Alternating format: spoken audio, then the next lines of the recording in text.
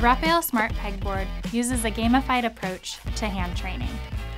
Through lights and sound, patients are prompted to participate in a variety of hand training games, from very simple to complex activities, working on increasing speed and including visual motor challenges. The Smart Pegboard system is made up of three interchangeable boards, including the standard board, mixed shape board, and pinch board along with the corresponding pegs. To get started, choose the board you'd like to use depending on the needs of the patient.